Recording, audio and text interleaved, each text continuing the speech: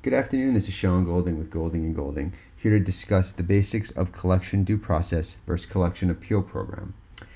Uh, unfortunately, if you're listening to this presentation, then you're already stuck in the IRS crosshairs and figuring out what to do about it, right?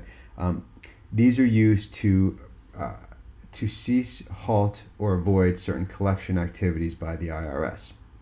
Now, uh, it could be used in many different scenarios, but but here we focus exclusively on offshore uh, related matter. So in our neck of the woods, the way this normally happens is the following: taxpayer learns that they had to file either a late foreign trust reporting form or form 3520 for a foreign gift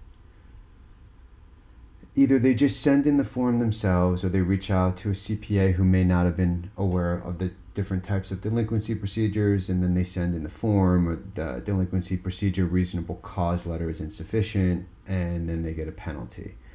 Penalty comes in normally on what's called a CP15 notice and then that leads to a 504 notice and there's lots of stuff in between there.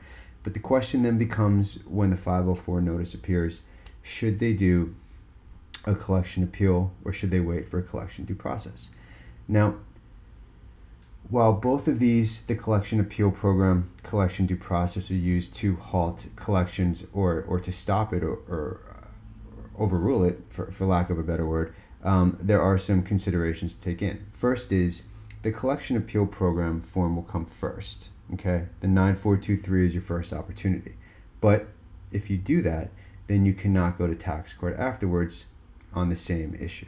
So if you know the the 504 notice comes in and you you know you automatically run out and you do the collection appeal, uh, you can't do a collection due process later, but you may not want to.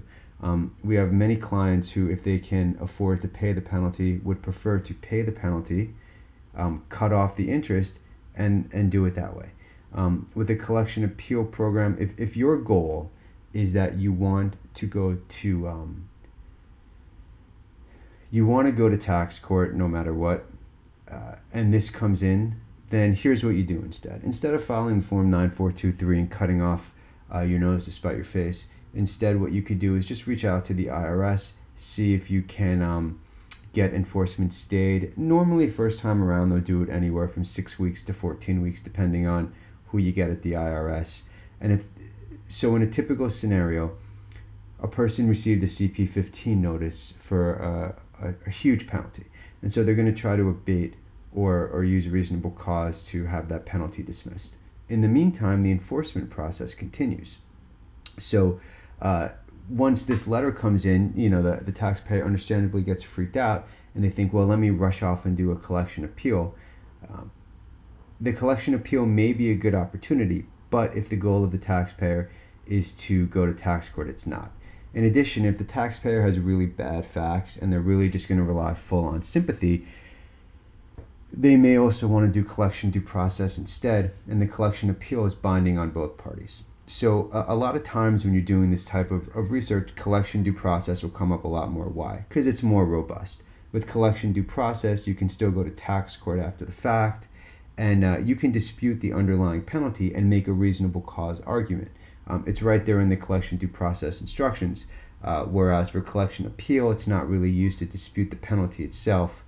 Um, reasonable cause doesn't really fly. Now, you know, you get a nice agent on a nice day, they may find some other formal uh, regulation to get around in order to make it work for you if, if they think it's absurd, especially with these gifts from foreign persons most of the time. It's your mom, your grandma, your dad, another relative giving you a gift no one knew you had to report it because there's no income associated with it. The biggest negative with the collection due process is this you have to wait until the end game, final notice, um, before pursuing it. Along the way, you're going to get these scary notices from the IRS, and with COVID and everything going on, a common scenario is agents only go to the office intermittently to check their mail. You send in the 12153 it gets stuck somewhere along the way, sitting in a pile, you know, I don't know, 10 feet tall of, of notices and letters.